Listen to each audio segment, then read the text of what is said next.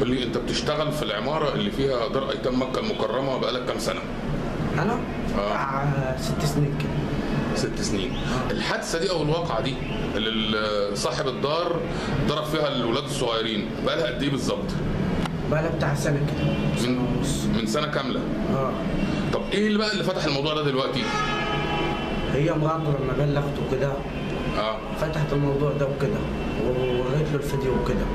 تمام. فهو شغل الفيديو واستغرب وكده. آه شغل الفيديو قال لازم الراجل ده يتعبط وكده.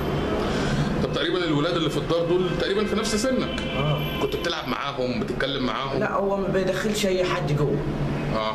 بالذات ح- أي واحد لو لو مين ما بيدخلوش جوه لما بيكون بجيب له حاجات ولا عايز أدخل ادخلها لهم بيرضى يقول لي وقف هنا وأنا قبل ابعت لك الابله يجيب لك حاجات منهم كده. وتفتكر هو بيعمل كده ليه؟ يعني خايف على الولاد ولا علشان إيه بالظبط؟ لا هو تقريبا بيعمل فيهم حاجة بيزعلهم بتاع.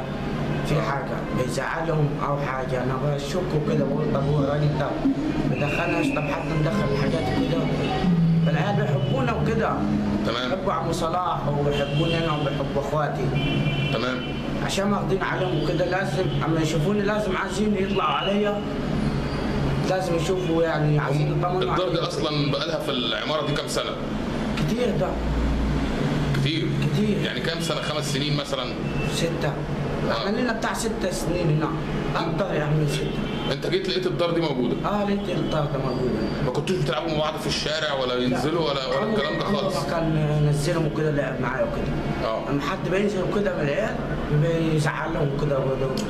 ال- ال- الولاد دول ما كانوش بيخرجهم وما بيطلعهمش رحلات لا ولا لا, ما لا ولا أي حاجة. ما كانش. المدرسة وممكن آه. المدرسة لغاية هنا بس.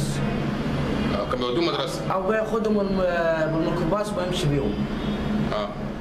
بس كده. بس كده. آه.